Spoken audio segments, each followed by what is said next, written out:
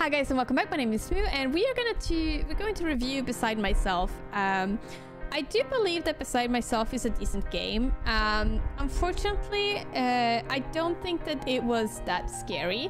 Uh, there were a lot of uh, of jump scares that I, I like. Some of them I actually also jumped uh, at. Um, I do feel that a lot of them were quite how to explain. Like they were quite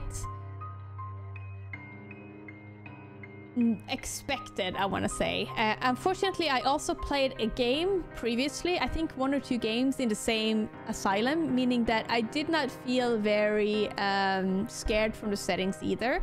Uh, I think it would have been, um, like, I do believe that it's really good to have, um, to reuse, uh, to reuse, um, what's it called?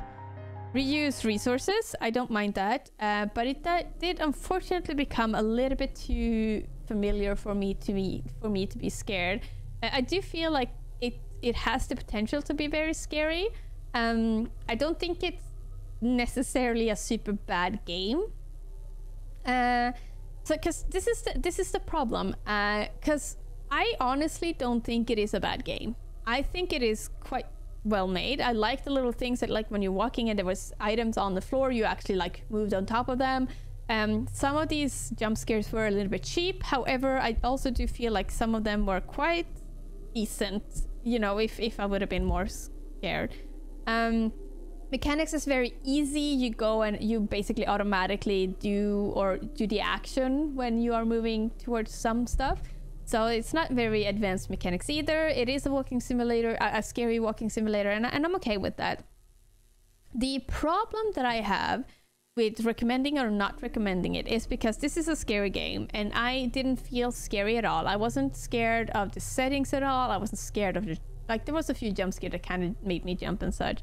Um, but it didn't make me it felt like a very generic scary game. But it's not bad.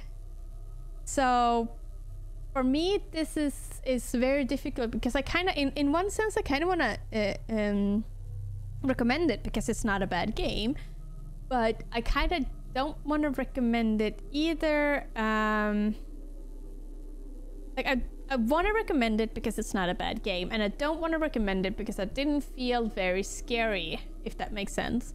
Um, so I think this is gonna be a first where I kind of can't really give a recommendation either or because I do believe that there are very good potential for this developer. Uh, but because the game itself weren't that scary to me, uh, doesn't mean that it's not scary for other people either. So like,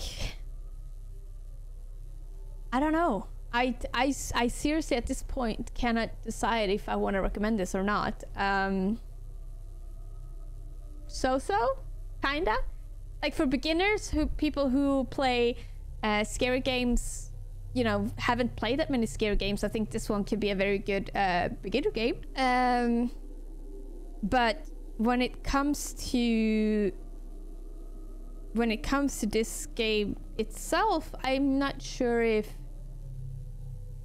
like it's a good beginner scary game. It, it will be scary for people who has not played a lot of scary games, but it's not gonna be scary for the people who are used to scary games and such. Um, so I don't know. I, I'm I'm kind of don't want to recommend it because I don't want to make people disappointed in it. Um, but it's not a game that I would play again.